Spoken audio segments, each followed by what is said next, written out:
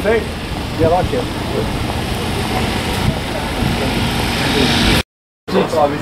It's. It's like Thunderbirds.